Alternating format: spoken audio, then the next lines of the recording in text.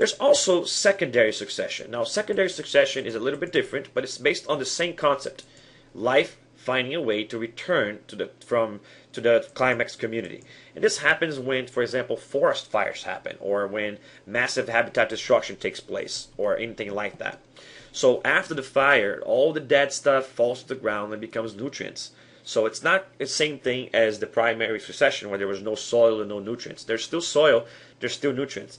But you're going to have to go through the same kind of process where you're going to start with the pioneer species and you're going to get the annual plants and then you're going to get grasses and perennial plants uh, and then you're going to get shrubs and larger trees, and and then before you know it, you go back to the climax community. This is a process that can take many years to happen, but in fact, as you can see in the pictures, it doesn't take necessarily that long uh, for you to go from the picture on the left side to the right side of here. And this is actually important for ecosystems because climax communities get old and the plants run out of nutrients basically sometimes. And so forest fires are part, part of what resets basically the ecosystem. So you know, I don't know if you ever use a computer and you saw that after using it for a while, it gets slow and then you have to restart it. If you have a PC, you know exactly what I'm talking about. If you have a Mac, probably not. But either way, if you have a PC, that's what happens sometimes. And it's kind of how it is in an ecosystem. Things start to slow down as there's too much life and too little nutrients to support that life. When things die during the fire, you restart, and it gives opportunity for new life to take its take the place and new life to evolve as new niches become available and new kinds of variety can actually exist. So even large disturbances, such as those that create secondary succession, can be beneficial for life in the long run, even though in the short run it's catastrophic. Now here you see an example of the amount of nutrients in the soil as succession goes along, and then I talked about that the, the graph on the top left side will show you that as succession is happening, more and more nutrients are accumulating in the, in the soil. But remember that once the climax community is established, those nutrients will start to be depleted, uh, unless, of course, uh, leaves are constantly falling and trees are constantly dying and adding more nutrients to that area.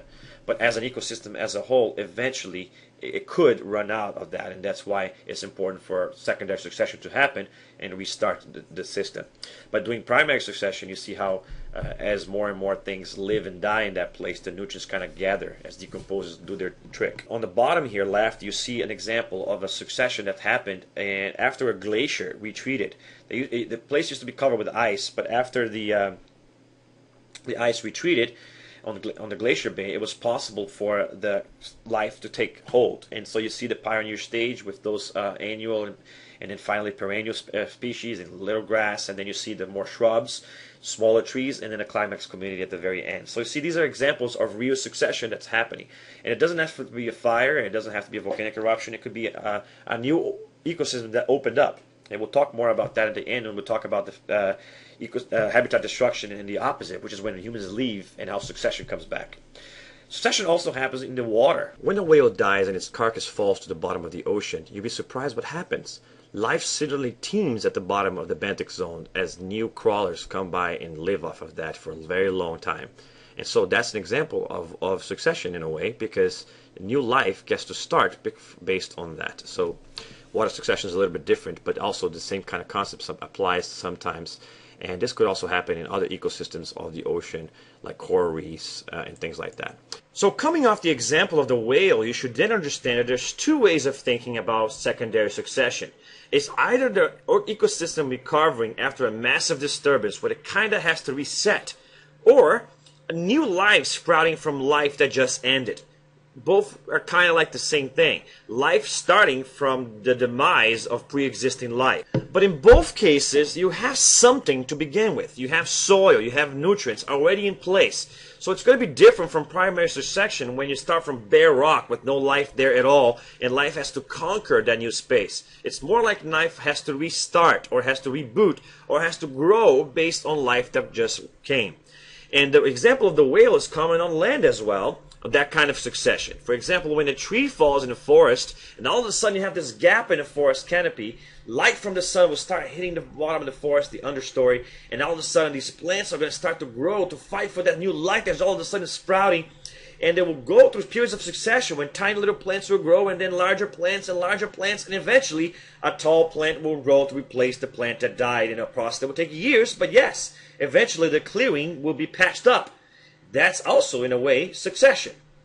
Also, remember the idea of lakes, which go through processes from a lake that's, you know, clean lake, oligotrophic, all the way to a eutrophic lake, when it starts with barely no life there and eventually becomes teeming with life in a climax community that's so overcome with life that it actually ends up killing the lake. These are all examples of succession, or life changing as communities replace each other and evolve over time from, from pioneer species all the way to the climax community, which are the most complex communities that include a lot of interactions between a lot of different kinds of populations. Even the carcass of a mice, when it decomposes, it would teem with life, and new life will take advantage of that to start. All of these things are succession. Succession is the process by which life goes through processes of changes in community and successively more complex as the ecosystem becomes more rich in nutrients and able to cope with the larger community uh, living in that space. But primary means that there was no life there to begin with. Secondary is when it starts from pre-existing life or the demise of the life that was in that location before. Um, now, the last thing I want to talk about is the idea that human disturbances will, of course, destroy ecosystems around the Earth. But the interesting thing is that if we leave and leave the ecosystems by themselves, uh, life finds a way back. And you can see now in Chernobyl, after the nuclear nuclear accident that happened there, and the city was abandoned, uh, life pretty much took over the city. You can see how a forest is now growing all over the place in the city, in between the buildings. Uh, other abandoned cities and abandoned mines that you see in the bottom there, uh, you see the life returning after only five years. Chernobyl's been a long time, but in the bottom you see more recent succession events. But this means that uh, life can recover from all kinds of destruction, and that's why it might not be the same life that was there originally, but uh, it will be new life. And so succession is about how life rebuilds itself or builds itself in the first place. But remember, this is not happening from nowhere. It's happening from pre-existing life that's coming from somewhere else. And although it does open up niches uh, for new life to evolve in these circumstances, since there's no one occupying those niches, uh, so evolution can take place and often does take place during succession. So it's also important for the variety of life across time. And remember that as ecosystems change and go uh, because of uh, environmental changes that happen, similar processes happen where new ecosystems take over or they change.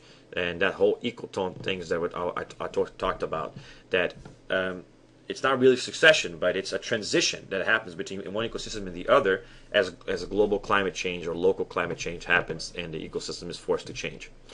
But regardless of what, what you, the way you look at it, life finds a way and changes. And that is ecosystem ecology. I hope you learn a lot and don't do anything that wouldn't make your more proud.